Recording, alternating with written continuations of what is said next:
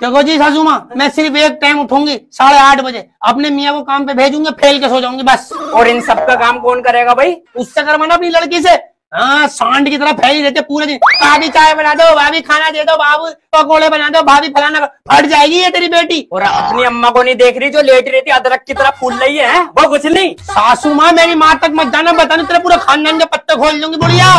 मेरे खोलेगी क्या खोलेगी? बताइए जरा। अच्छा और तेरी बहन है जो बाज़ार में जाके ठट्टे मार मार के दुकानदार से बातें करती है? हाँ हाँ हाँ हाँ हाँ हाँ हाँ दो हज़ार की चीज़ तीन सौ में लेकर आती है मुझे पता नहीं तेरी बहन किन चक्करों में घूमती है बाज़ार में। जानती नहीं है मुरादाबाद क्यों? फैला दूँगी एकदम तेरे को यही।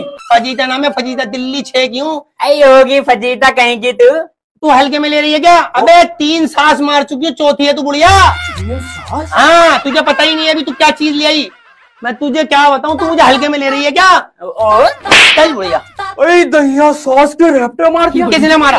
तूने मैंने देखा नहीं अभी। तेरी तो चलेगी ही नहीं। इन चार दीवारियों में बता कौन है? इस घर में कोई है ही नहीं। कोई हो तो मुझे बता। ये ले बोल ले।